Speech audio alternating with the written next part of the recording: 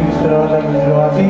mengucapkan terima kasih banyak buat cinta kasih orang tua kami